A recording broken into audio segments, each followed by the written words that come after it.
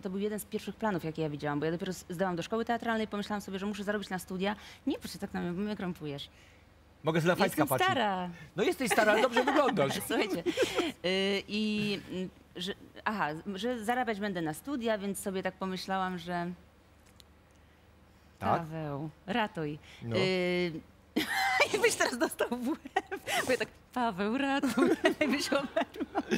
Przepraszam. I pomyślałam sobie, że muszę zarabiać i tak dalej. Tak. I tam były akurat zdjęcia przez całe wakacje codziennie w czymś innym, różne Tak. seriale wtedy odwiedziłam Tak. i tak dalej. Tak. To był jeden z pierwszych moich y, planów filmowych Mhm, i nie sądziłam wtedy, że jest tyle dubli. No i byłam tą niewolnicą i pech chciał, że ustawili mnie bardzo blisko tego, tych głównych takich łóżek, gdzie między innymi był Linda. y, Delong. W każdym razie na ekranie, jestem, na ekranie jestem za Lindą, to pamiętam, nie?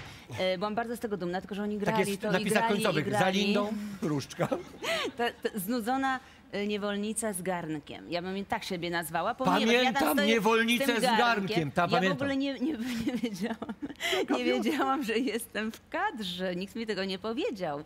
Więc ja stałam mniej I więcej... tak robiłaś tak? No, prawie, prawie. No bo na początku byłam grzeczna, a później mniej więcej tak gram.